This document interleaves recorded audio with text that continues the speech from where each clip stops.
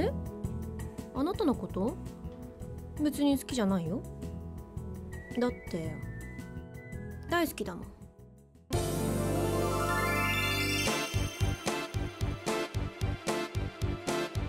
青山渚の迷わず渚。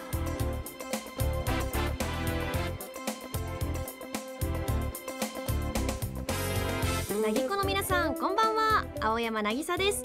この番組は迷わずに青山渚自身の気持ちを素直に皆さんに伝えていこうというパーソナル系トーク番組です。皆さんぜひハッシュタグ迷なぎとハッシュタグ迷わず渚をつけて X 旧 Twitter などでも実況しながら楽しんでいってください。迷なぎそして迷わず渚は全部ひらがなでお願いします。ということで冒頭のセリフはなぎっこのポケさんからいただきました。理想のセリフ渚でした。なんだそれ。もう何でもありじゃん。言ってほしかったんだね。そうかそうか。よかったよ。これは確かに実際に言われたらね。なんかもうトゥンクですね。さて今日は9月10日ということで今22時30分でしょ？おそらく。あのリエラのフォースラブライブツアーブラニュースパークルのファイナルに参加してくださった方がたくさんいらっしゃるんじゃないでしょうか。ありあれかな？みんなあの帰りのバスとか電車とか。それかな？みんな気をつけて帰るんだよ。いやありがとうございます。きっとねあの未来の青山は何してるかな？この時間。なんか多分急いで帰りの支度してるからなんかストレッチとかしてるかもしれないね。いやもしかしたら私も聞いてるかもしれない。ちょっとまだわからないんですけどもね。あのリエラのフォースラブライブツアー参加してくださった皆さんありがとうございました。それでは最後まで迷わずお付き合いよろしくお願いします。青山渚の迷わず渚スタートです。青山渚の迷わず渚。皆さんから届いたメッセージ質問日常の報告などのメールをご紹介するふつおたなぎさのコーナーです。それでは早速メールをご紹介しましょう。まずはなぎっこのボンスケさんからいただきました。コミケで買ったマヨナギグッズの涼しいぞハンディファンと頑張るぞタオルが大活躍してくれてます。あ本当？よかった。イベントに行った時とか待機中にハンディファンで暑さをしのいで家に帰ってお風呂に入った後にタオルで体を拭いています。お個人的に次は冬込みかなと思っているのであったかいぞカイロ。そして頑張るぞマフラーとか欲しいです。頑張るぞマフラー？そうかそうかそうか。えまずは使ってくれてるのか。あーありがとう嬉しい。ハンディファンとタオルってめっちゃ使いやすいよね。あのね私も使ってるんですけどハンディファンのサイズが超お気に入り。あのちっちゃいからさ私ねあの何て言うのかな台本があるようなさお仕事とかなんかリハーサルとかでさ着替えが必要な時とかって大きいさバッグがを使ってるんですよ。もうそういう時にもちょっと隙間にね入れられるのいいなと思ってて。あと本当にデザインシンプルだからさどこにでも持ってきるっていうね。これねいいんでございますよ。そして頑張るぞタオルはねあのちゃんと体が拭ける。大きいから。なんかさちょっとちっちゃめのタオルだとあ背中が届かないみたいになるけど肩が硬くてなんでも四十肩で肩回んないよっていう人でも全然使えるから。本当に。めちゃめちゃ大きいから使いやすいのよ。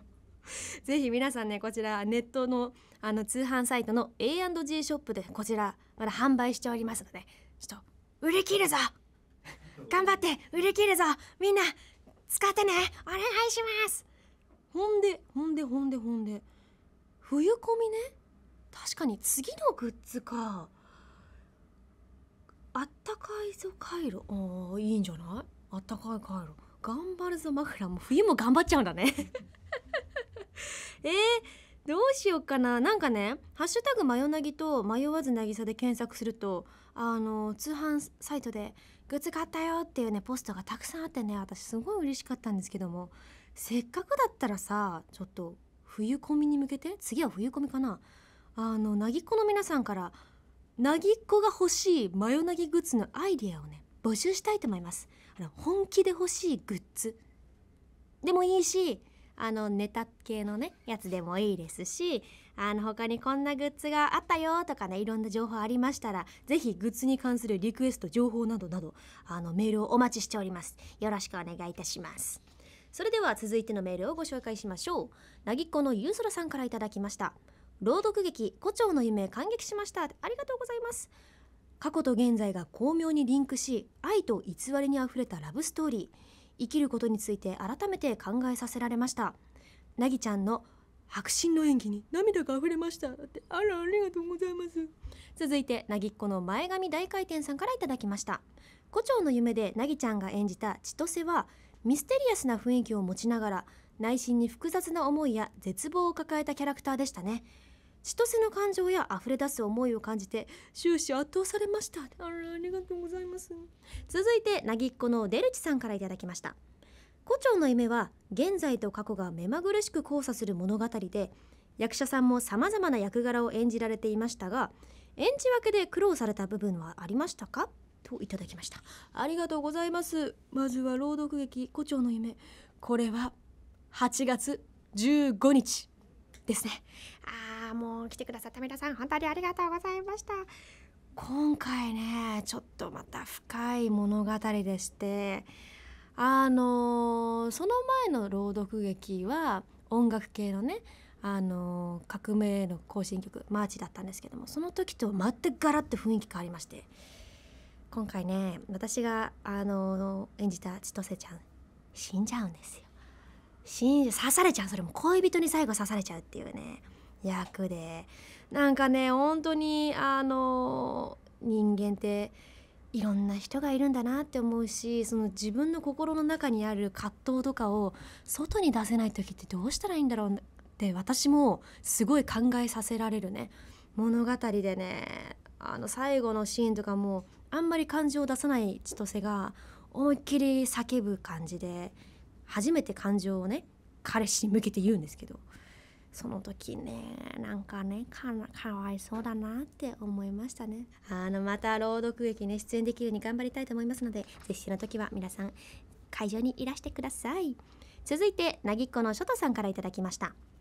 スピリッツの表紙グラビアおめでとうございます。ありがとうございます。デジタル写真集も日付が変わってすぐ買いました。嬉しい。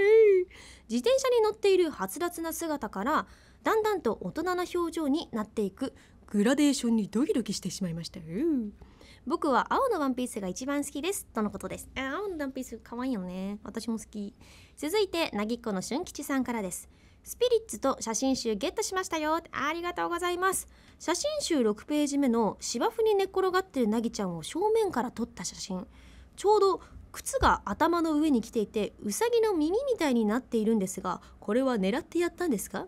といただきました。おーこれねたまたま？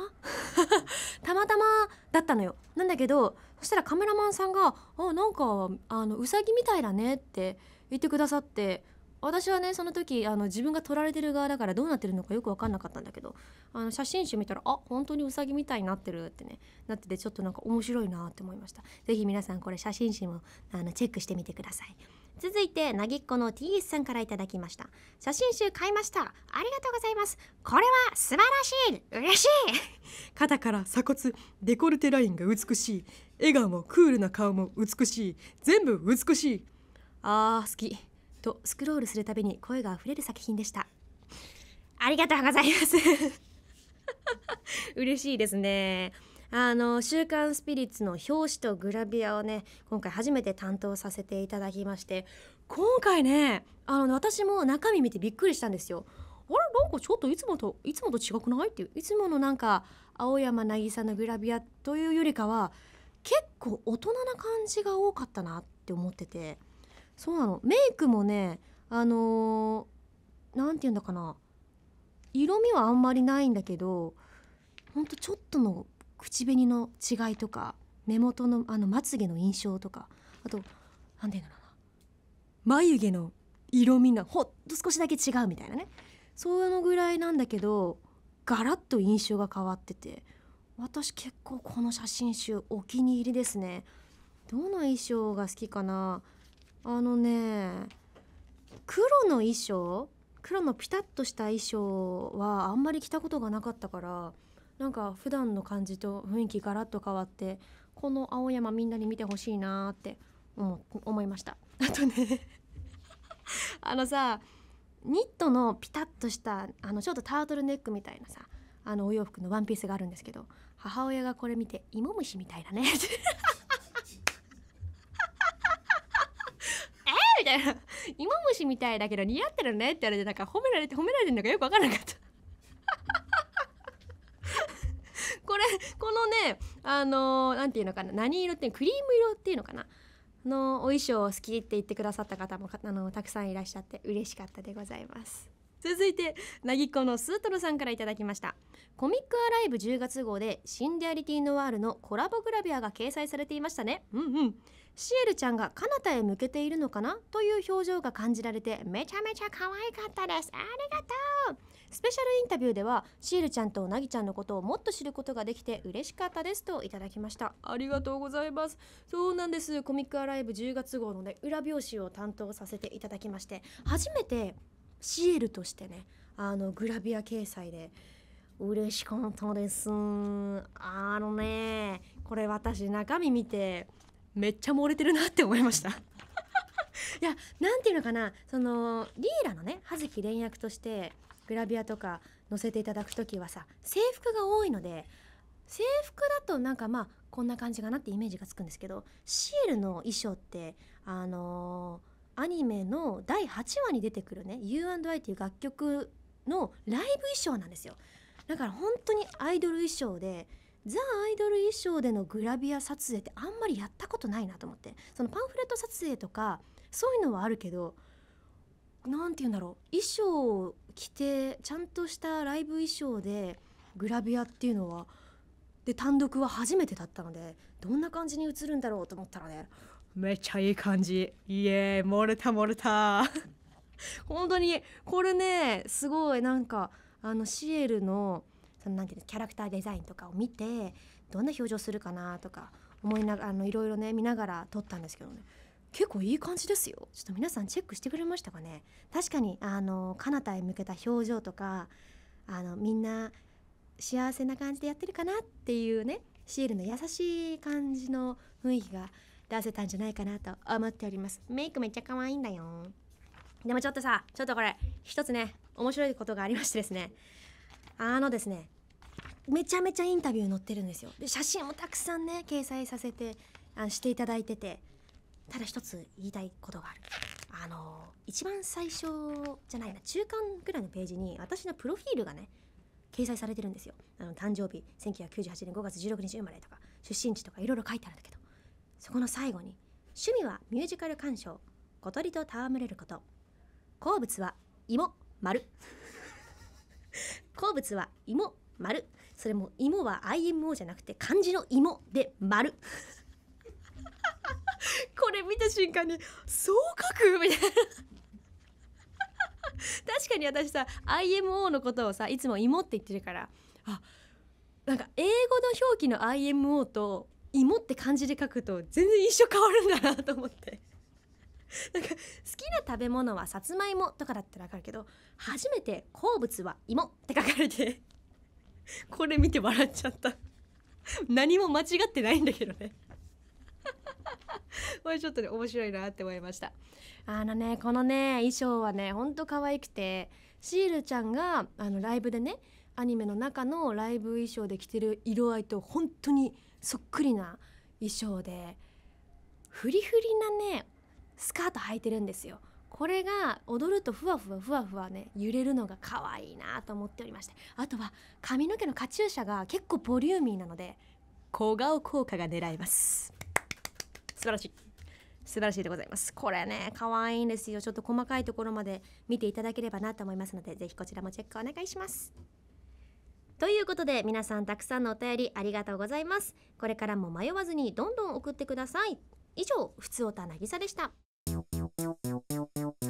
なぎっこのおでんさんからの叫んでなぎさコンビニとかのレジ横にちょっとしたチョコとか和菓子とかあるけどついつい買っちゃう。あれはコンビニの罠やで。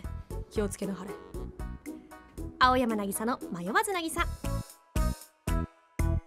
引き続き皆さんからいただいたメッセージをご紹介しましょう。まずはなぎっこの七色の魔法使いさんからいただきました。シンデュアリティノワール第7話のシエルちゃん。可愛すぎません？それな6話のカナダとの出会いからの心境変化。時々にじみ出すあざとさが本当にずるいです。あと歌声本当にいいです。ずるいです。ありがとうございます。続いてなぎっこの上達さんからです。第7話では挿入歌幻惑デザイアが加わることで戦闘シーンの迫力がさらに増していましたね。うんうん。ミュージックビデオではシエルちゃんの可愛い衣装を着たなぎちゃんが力強く歌っておりそのギャップにはまって何度も見ています。とのことです。ありがとう続いてなぎっこのスイタンさんからです。幻惑デザイア実写での MV にはびっくりしました。作中と同じシエルの衣装を身にまとったなぎちゃんが美しすぎて毎日欠かさず MV を見てます。本当に？嬉しい。CD の発売日が今から楽しみです。といただきました。ありがとうございます。そうなんですよ。まずはシンデュアリティノワールの第7話ですね。ここで初めて幻惑デザイア挿入歌が披露されましてまさかの戦闘シーンで歌のみというね。あの戦闘シーン流れてるんですけどその攻撃してる時のさなんか爆発音とかはなしでもう歌だけ。で最後のあの一発だけドガーンっていうのがね音ハメでありましてあのシーンめっちゃ好きなんだよね。何回も見ちゃう。あれすごくないですか？私が最初レコーディングした時はどこで使われるのかがわからないままあのレコーディングをしたのであこんな感じなのっていうのをそのアフレコの時にね見てあすごいめっちゃかっこいいじゃんと思ってね。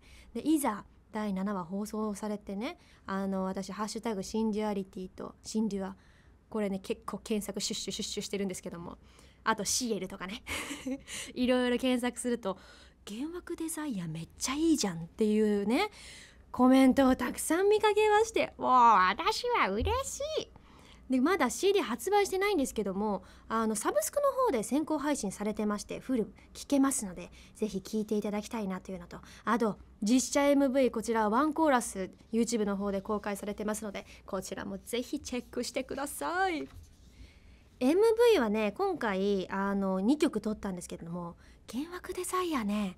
なんか廃墟の施設のプールになる予定だった場所で撮ったんですよ。そう。あなんかホテルの一つにプールがあってねプール施設が。それが何ていうのかなドーム型のあの出口がさ端にしかないパターンのね温水プールみたいなところで撮ったんですけど温水プールの水がない冷房もないところだったんですよ。まあ廃墟だから何もないわけよ。だからマジで暑くて。ね私さあのシエルの衣装長袖じゃないですか。もう汗ダックダクで。もうスタッフさんでさえもう暑くてみんなあれよあのハンディファンとか大きい扇風機回しながらやってたんですけども。私それにさあの加えてパフォーマンスをするわけじゃないですか。もうね暑すぎて休憩に入った瞬間にスタッフさんが走ってきて私にもういろんな角度から扇風機を当ててくださってあのうちわをバタバタバタバタってやってくれたりとかね本当にスタッフの皆さんに支えられながら撮影をしていました。そしたらねほんとかっこいいやつができちゃってねもう大満足でございます。続いてちょっと8話のね U&I の話もしたいと思います。なぎっこのワイワイさんからいただきました。シンデュアリティのある第8話見ましたよ。ありがとうございます。シエルが歌っていた U&I 幻惑デザイアとはまた違いさらにアイドルらしい可愛さ満点でしたね。ありがとうございます。特に歌詞の君ならよかったなのところでシールちゃんがマイクを両手に持ちながら首をかしげるところがめちゃくちゃ可愛くてお気に入りですといただきましたすっごいびっくりマークがたくさんある。ありがとう。続いてなぎっこの肉巻きポテトさんからです。シンデュアリティのある第8話。ピュアドリーム見ました。ありがとう。戦闘シーンの出てこない水着キャッキャウフフ会でしたね。水着キャッキャウフフってかめっちゃ面白いなこれ。そしてシエルちゃんのあの気合の入ったライブパート。歌声に手の動きカメラワークどれをとっても最高でした。といただきました。ありがとうございます。ついにねあの9月27日発売の U&I これ表題曲なんですけど出てきましたね。第8話でやっと公開でございます。この曲ね可愛いんですよ。ニューヨークデザイアで私が着てたあの MV のさ衣装あるじゃないですか。あれと全く同じ衣装を着たシエルちゃんがテレビアニメの中で歌ってたんでございますよ。いやー可愛かったね。シエルちゃんさなんか第7話で結構あざといシエルが出てきて大人なの大人っぽい余裕をね持った。でもちょっと可愛いみたいな。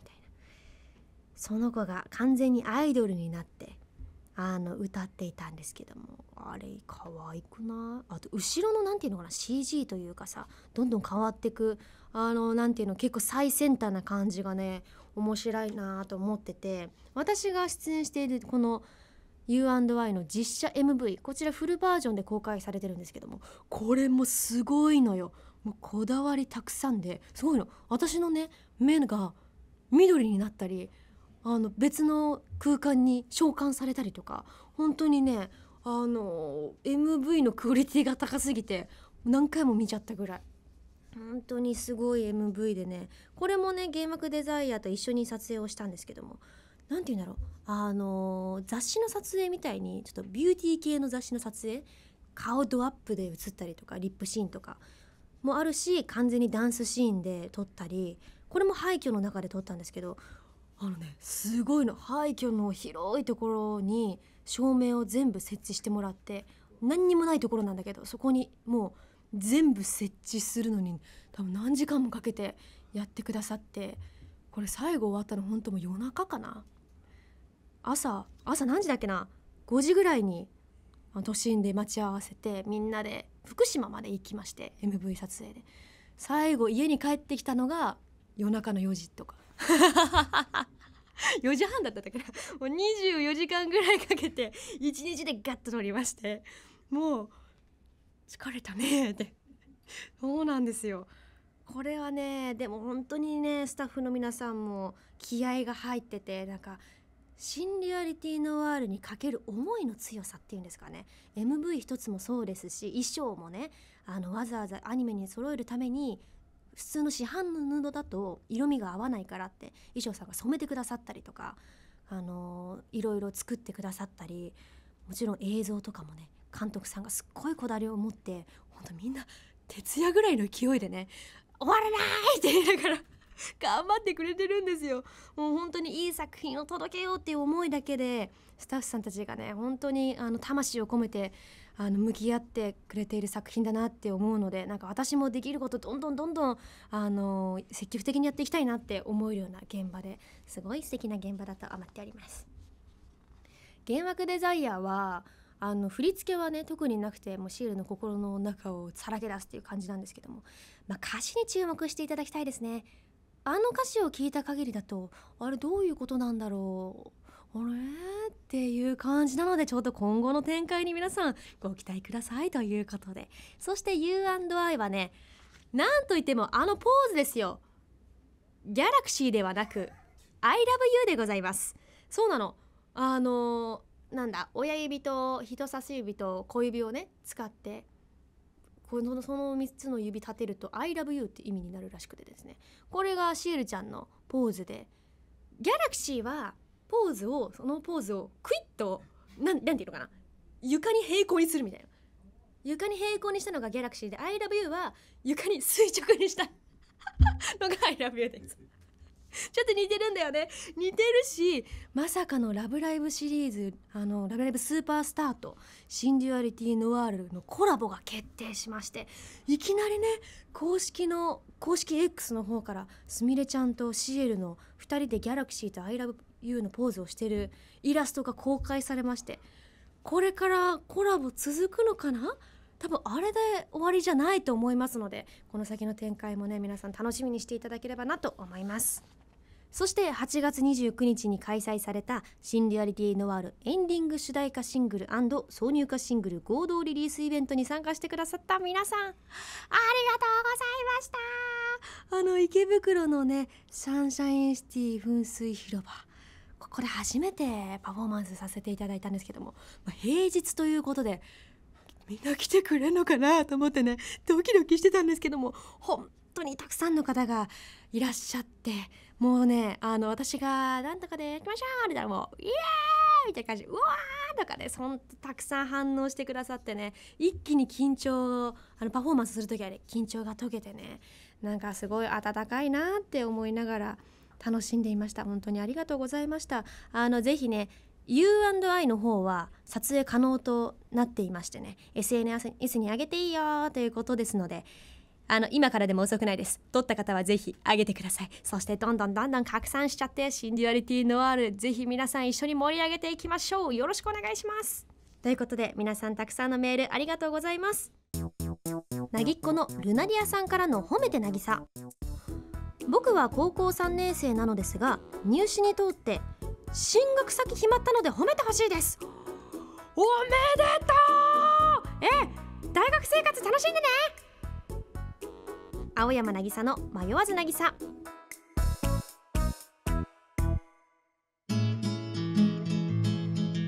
青山渚の迷わず渚。そろそろお別れのお時間が近づいてきました。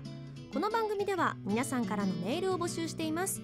メールアドレスはなぎアットマーク JOQR.net nagi アットマーク JOQR.net です。たくさんのメールお待ちしています。また番組のアーカイブを文化放送 A&G 公式 YouTube チャンネルにて配信中です。毎週月曜17時に更新されますのでこちらもチェックしてください。そして「マヨナギ公式 X」には番組情報の他にもなぎっこのイマジンさんからのリクエストサイドチェストのポーズのええ？え？サイドチェストのポーズの青山渚の写真もアップされますのでぜひそちらもチェックしてください。需要ある？え？ボディービルダーの方がよくやるやつだよね。いる？絶対いらないと思う。絶対可愛いやつの方がいいんじゃん。本当に？もう分かった。じゃあみんなちゃんとあの拡散してね。リツイートしてね。それでは青山渚情報です。現在放送中のテレビアニメ「シンデュアリティノワール」にシエル役で出演中です9月27日にはシエルの挿入歌シングル「U&I」もリリースとなります。先行配信や MV も公開となっておりますのでぜひチェックしてください。そして8月25日発売のコミックアライブさん。さらに9月8日発売の声優アニメディアさんにもシールのビジュアルでグラビアが掲載されていますのでぜひどちらもたくさん読んでいただきたいです。よろしくお願いします。続いて10月に新宿スペースゼロにて上演する舞台「過激少女」に野島聖役で出演いたします。チケット情報は公式サイトをご確認ください。そしてフジテレビ系列目覚ましテレビに今時があるとして出演しています。こちらの出演タイミングなどは目覚ましテレビオフィシャル X をチェックしてください。ということで本日の放送皆さんいかがでしたか？普通音だけで。終わっちゃいました。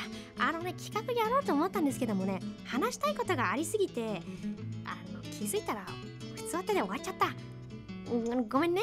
ごめんね。でもたくさんお便り送ってくれてありがとうございました。ちょっとね本当に最近8月はねあの皆さんにお会いできる日がたくさんあったので語りたいことがもうありすぎちゃってまだまだ語り足りないのでちょっと次週もね早口で話していきたいと思います。